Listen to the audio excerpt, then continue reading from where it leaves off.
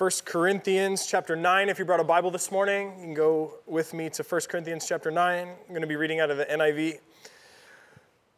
Did you know that you're in a race? The Apostle Paul, he wrote this letter to the Corinthians. Um, this, there was a, a group of Christians in the city called Corinth, and he says this in 1 Corinthians chapter 9, verse 24. He says, Do you not know that in a race all the runners run, but only one gets the prize? Run in such a way as to get the prize.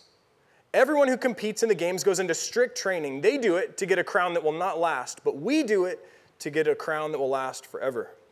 Therefore, I do not run like someone running aimlessly. I don't fight like a boxer beating the air.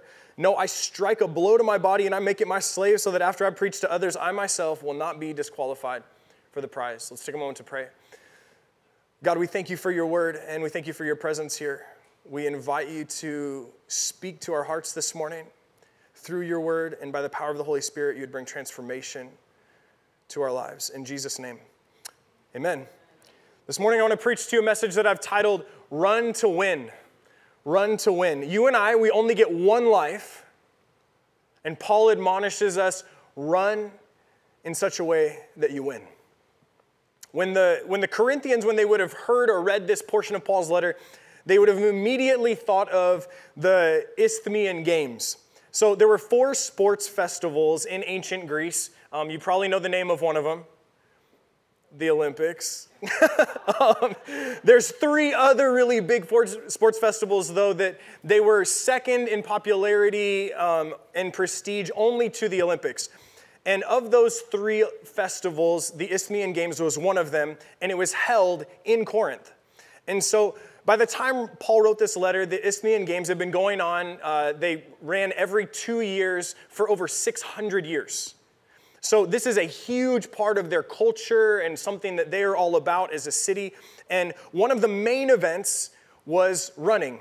As a matter of fact, if you didn't know this, uh, the very first Olympic event ever was the Stadion, which was a 200 yard sprint.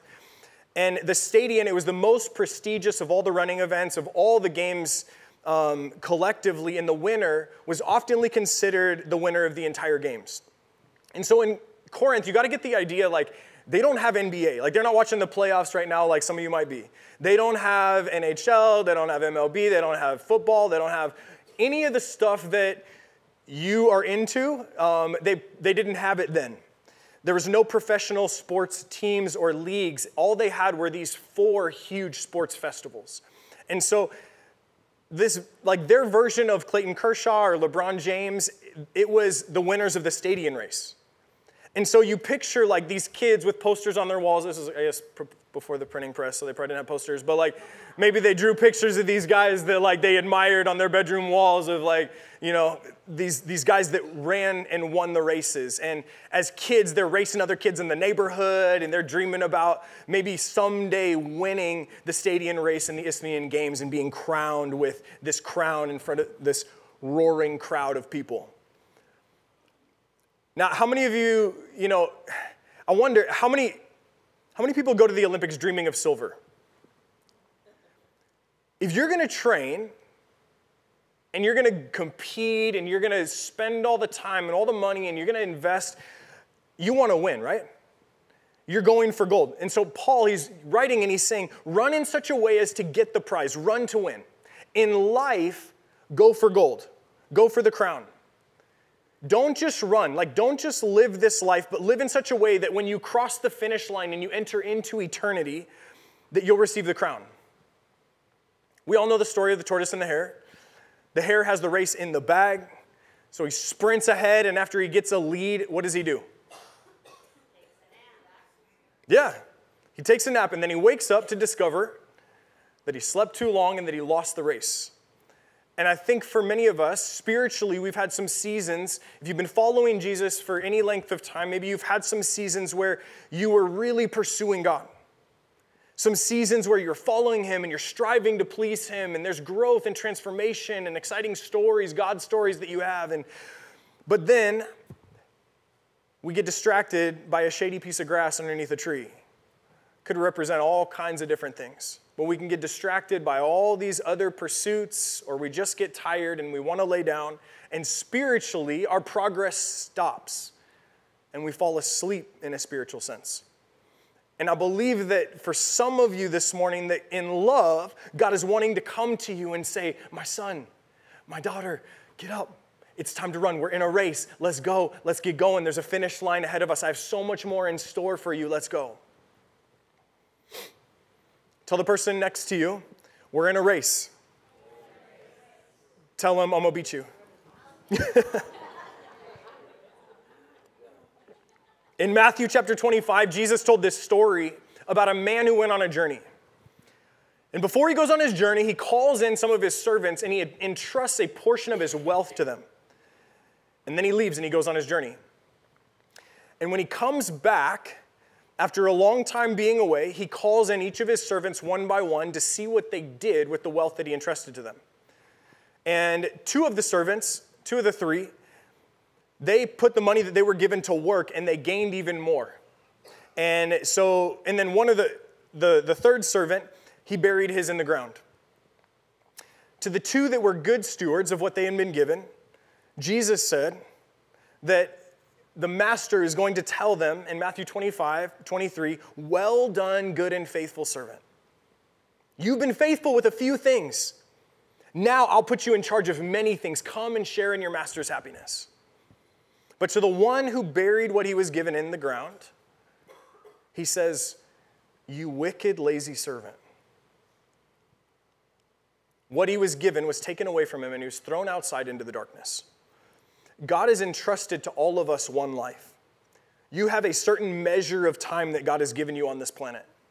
You have a certain amount of money and resources that will come to you over your lifetime. You have uh, a measure of talent and gifting and abilities. You have a number of relationships and people that, you're, that are going to cross your path over your time on this earth. And when you cross the finish line and you cross into eternity, you're going to stand before God and He's going to settle accounts with you. How well did you use what you were given? And you might wonder, well, how do I use it well? Like, what does that look like? Jesus summed up all the commands in the entire Bible into two love God, love the Lord your God with all your heart, soul, mind, and strength. And the second is like it love your neighbor as yourself. Love God, love people. In other words, no matter what your achievements are in life, if they don't have to do with loving God or loving people, then those achievements aren't going to last. But on the other hand, if you'll live your life for God, if you'll spend all that you have on Him to please Him and you seek to honor Him and to be selfless and to love Him, to love the people around you with all that's come to you, then you get to hear, Well done, good and faithful servant. You've been faithful with these few things that have come to you over this period of your life. But come now, I'm going to put you in charge of many things. I'm going to entrust a whole lot more to you if you're faithful. Come and share in your master's happiness. How many of you guys you want to win that prize? I want to win that prize.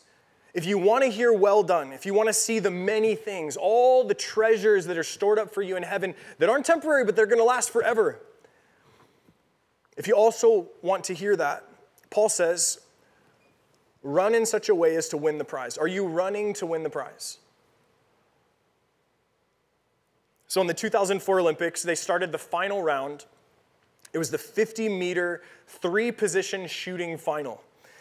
This guy, Matt Emmons, for the United States, he had one shot left, and he only needed to get just, just barely hit the target in order to get gold. He was so far ahead, he was three points ahead. And so he's not worried at all.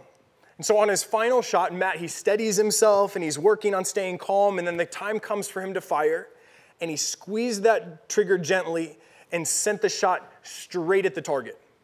And now he's amped, right? He's like, ah, just won gold. And so he's sitting there. And you know how they have that time, like, where after the, after the athletes compete, how they're standing there and they show them on camera, they're just standing waiting for their score to post to the leaderboard and figuring out, okay, what the judges give me, where we at. So he's standing there waiting for it to post and it doesn't post. And time is dragging on. It starts to get like awkward, and people are looking around like, what's what happened? What's going on? And then somebody comes over finally, and they inform Matt, they said, you shot at the target that was one lane over from your own. He shot the wrong target, and his final shot was ruled a complete miss, and he dropped from a certain gold medal to eighth place. And this is the Olympics. So, like, so much work, so much skill, so much went into it, all to have it slip away because he was focused on the wrong target. And here's the thing you and I, we each spend our lives aiming at a target. We can set all sorts of targets for ourselves. We can have health goals and financial goals and career goals and family goals and whatever goals. And we can even hit every single one of those targets that we set for ourselves. But here's the thing if we don't aim at the target that Jesus is aiming at, we're always going to miss the mark. So, what are you aiming at? What are you pursuing? What is it that you're focused on? I think too many of us, if we're honest, we're going after crowns that don't last. And I want to challenge us this morning. I believe God wants to challenge you. Go after God and after the things of God. It's like the kid who's reading the teacher's remarks on his paper. You know, good content, excellent bibliography, perfect grammar, F, wrong assignment. I don't want to stand before God and have him say, hey, great reputation, everybody loved you. Great wealth, man, you really, you acquired a lot, you know? Great physique, you really hit it in the gym. Great career, like you really climbed that ladder. F, wrong assignment. Where are the poor people that you clothed? Where are the thirsty people that you gave a drink to? Where are the lost people that you introduced to me? Where, were, where was it that you made the investment in your relationship with me to know me and to love me? Where was your worship? Make sure you're not wasting your life aiming at the wrong target trying to ace the wrong assignment. Once you understand the assignment, you understand what God has called you to. We may not be perfect at it, but if you're running and saying, I want to I wanna run this race well, I want to cross the finish line, I want to receive the crown that's going to last, how do you make sure that you win? If you want to win, there's a theme in this passage. If you look at verse 25 again, Paul writes, he says, everyone who competes in the games goes into what? Somebody say strict training. So crazy. Michael Phelps has 23 gold medals for swimming in the Olympics, most decorated Olympian of all time. How do you reach that level? Leading up to the Olympics one year, uh, he was quoted, um, he was getting ready to compete, and his coach commented on him. Found this in an article randomly. He said, Even now, Phelps trains every day, including Sundays, figuring it gives him 52 more days in a year, um, days a year in the pool than many of his competitors. In peak training phases, Phelps will swim at least 80,000 meters a week, nearly 50 miles. 50 miles of swimming in a week. That includes two practices a day, sometimes three when he's training at altitude. And with all of that expenditure of energy, listen to how he ate. Um, it said that Michael Phelps consumes an, a staggering 12,000 calories each day. The average person needs only 2,000. Powerlifters consume in the region of 8,000. His breakfast can, uh, typically consists of three fried egg sandwiches, topped with mayo, cheese, lettuce, tomatoes, fried onions, toast, an omelet, porridge, three pancakes, and two cups of coffee. But then by lunch, he's hungry.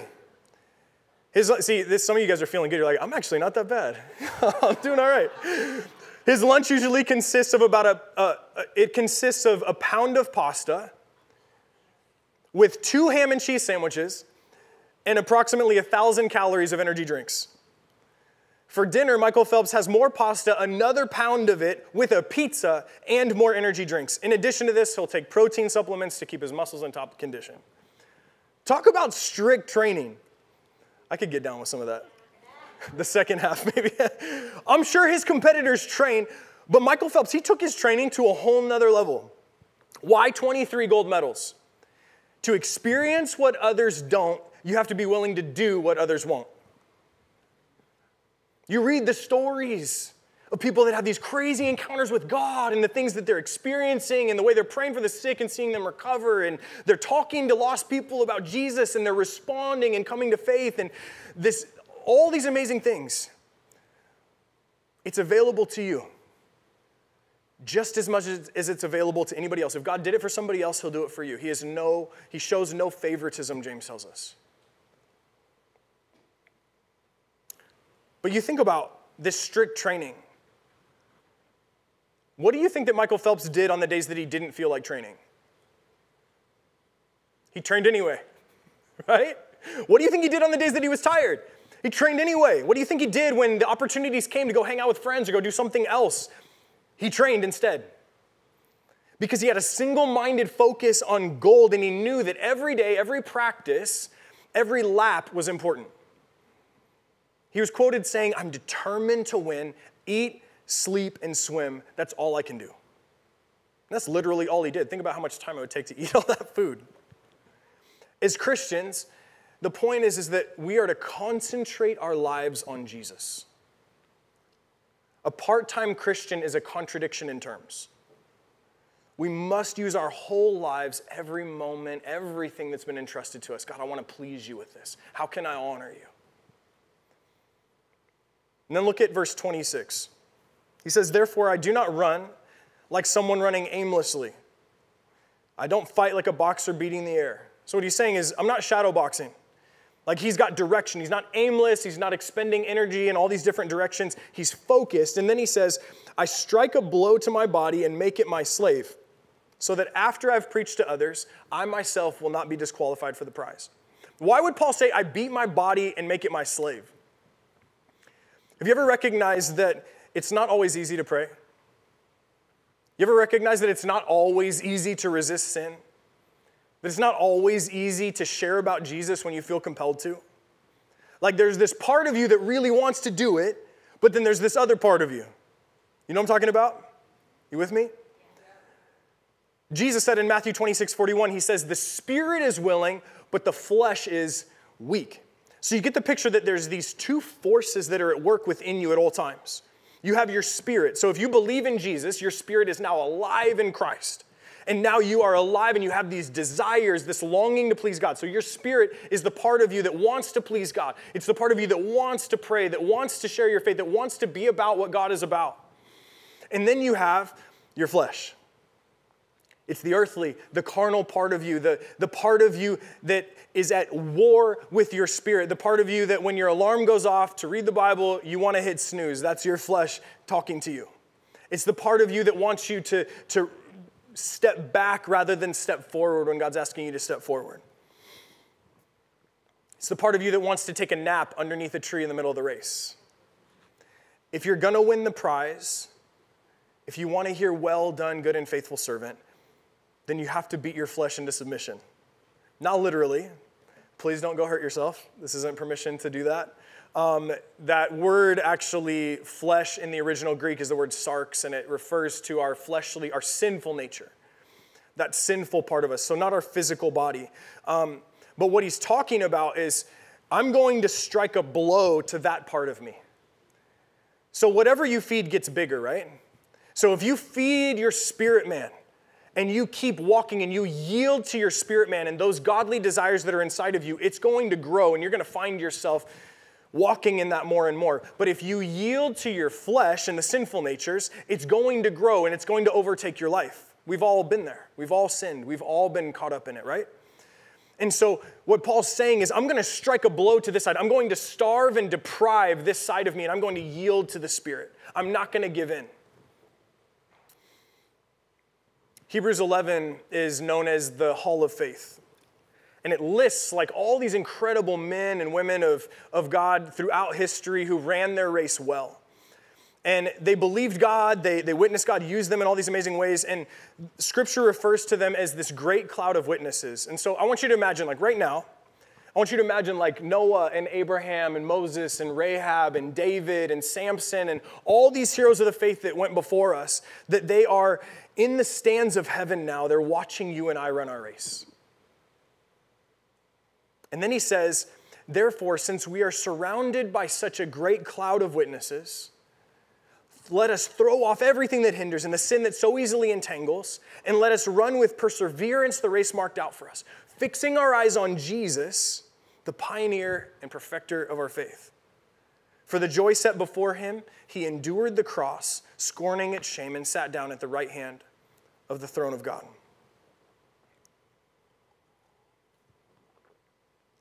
Says, throw off. We got all these heroes of the faith. They're leaning over the railings of heaven, watching how are you going to run your race? You're going to get the prize. In light of that, throw off everything that hinders. How many of you guys have seen Olympic runners carry a backpack? as they're running.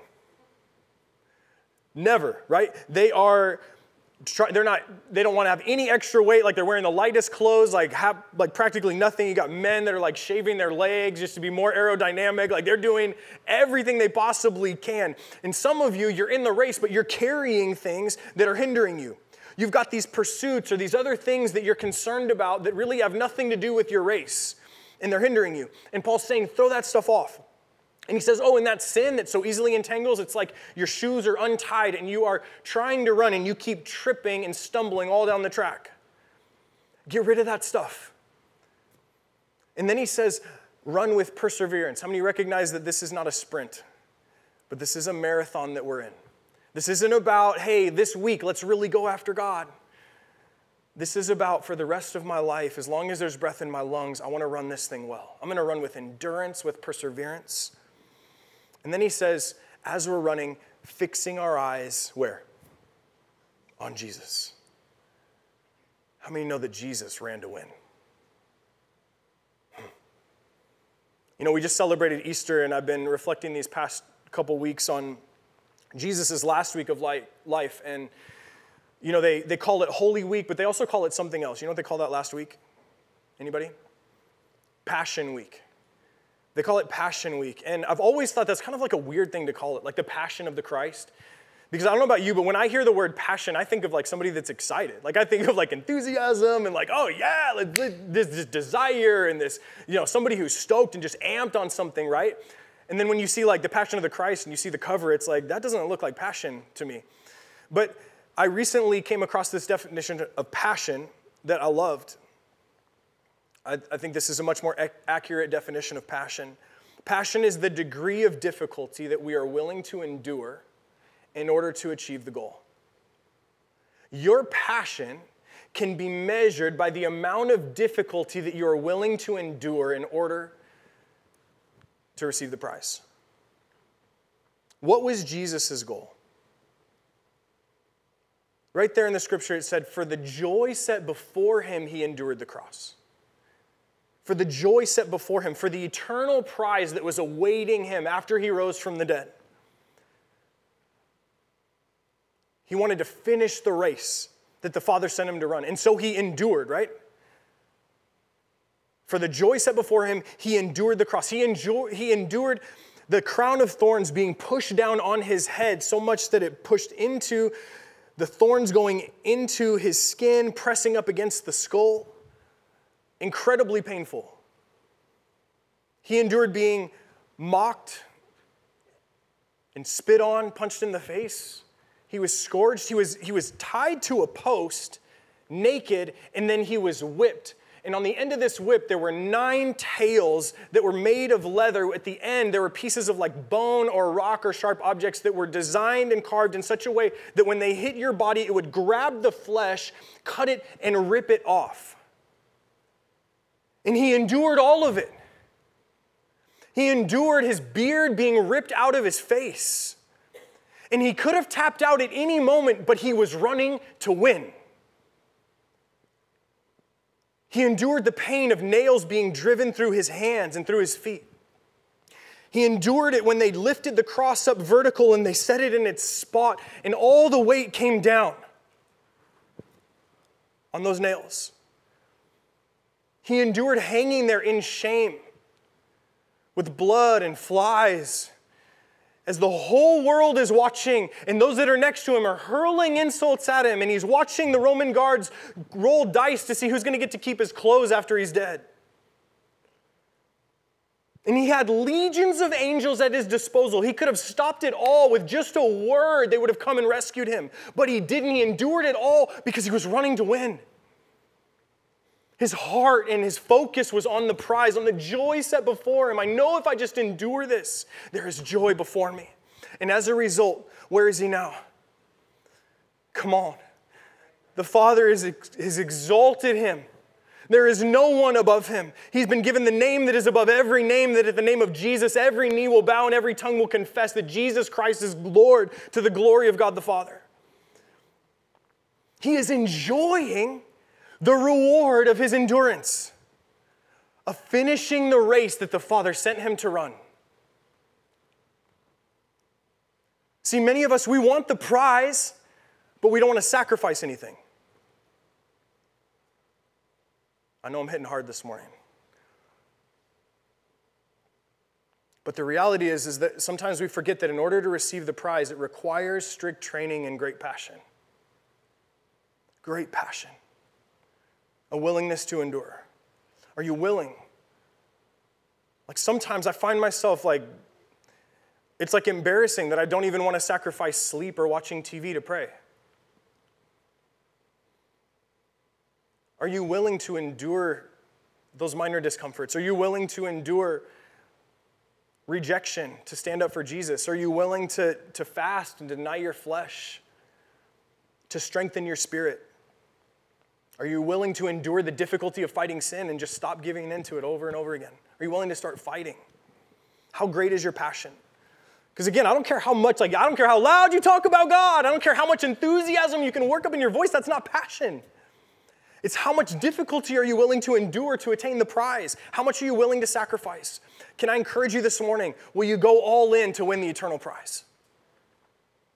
Will you see that all of your, there has to be a perspective shift that says, I see that now all of my time and all of my money, all of my resources, all of my talent and gifts and abilities, all of my relationships, they actually aren't mine.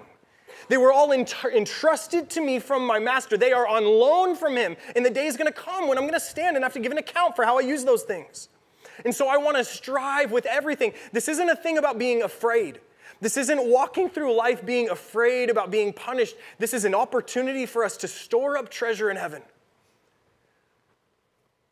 And so I'm going to strive with all the strength that God gives me because God knows I can't do anything on my own strength. I got to get alone with Him, I got to receive His strength. But with all the strength that He gives me, I'm going to spend everything that I've got to love Him and to love others.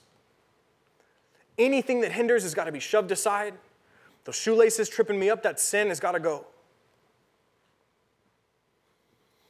You know, when I was a kid, I dreamed about being an NBA player until I was like 13. And then I realized I'm not built for the NBA. Um, the good news is that following Jesus and achieving the prize isn't just possible for one or an elite few. Anyone who takes what they've been given and decides, I'm going to run to win, can win. I want to encourage you, you have it all in you to win, just like LeBron has it in him to win. Did you know, by the way, the Lakers are pl- they're paying LeBron right now $97.1 million over these two years to have him play. They set him up to win, right? He's got access to like the best gyms on the planet, the state of the art training facilities and equipment. He's got the best coaches and the recovery stuff available to him. He's got all the equipment. He's got everything he needs to kill it on the court, and they're paying him $97 million. And imagine this with me. Imagine that he, he refuses to play and he decides with all of that, he's just going to sit on the bench for an entire season. That would blow our minds and it would make headlines, wouldn't it? But consider this God paid much more for you than $97 million. He gave the life of his son on the cross so that you could be forgiven, so that the stone of your sin could be rolled away and you could have access to God. And then he caused his Holy Spirit to come and dwell inside of you. He gave you resurrection power living on the inside. You have access to the Spirit of God, the same Spirit that raised Jesus from the dead. And then he declared, he declares to you as he declared to his disciples in Luke 10 19, I, have given you authority to trample on snakes and scorpions and to overcome all the power of the enemy. You are set up to win. Scripture says that you've been given everything that you need for life and godliness. God's entrusted to you and I so much. Don't sit on the bench and waste your life. God didn't roll the stone of your sin away and call you to life so that you could just float through life how you were doing it before. God didn't cause His Holy Spirit to come and live inside of you so that you could live the same way that your neighbor does who has no faith in God. God didn't save you for average. God destined you to win. He saved you because He said, I, I choose that one. I love you.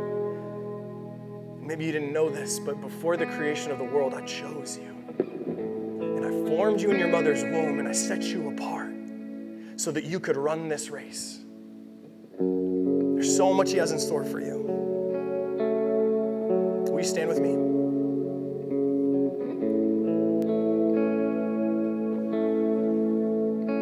When you realize that you don't deserve to be here, like, I shouldn't be here.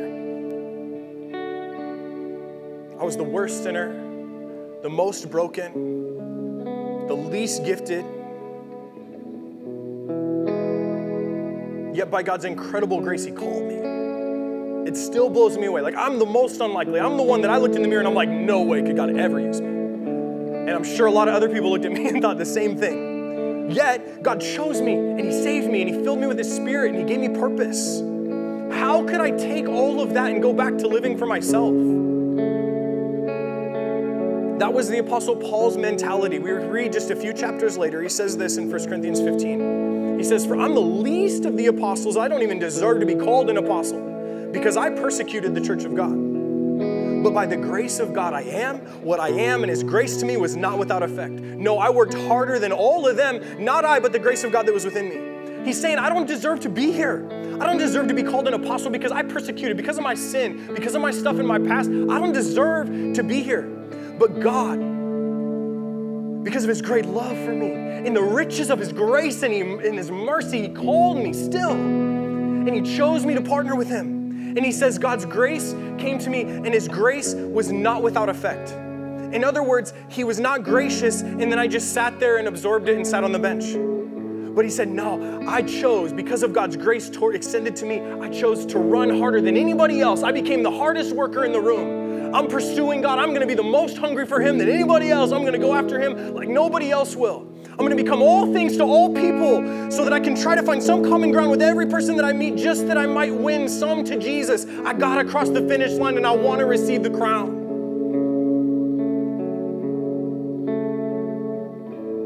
Can we adopt that mentality? God, I don't want to waste my life. We close your eyes for a moment.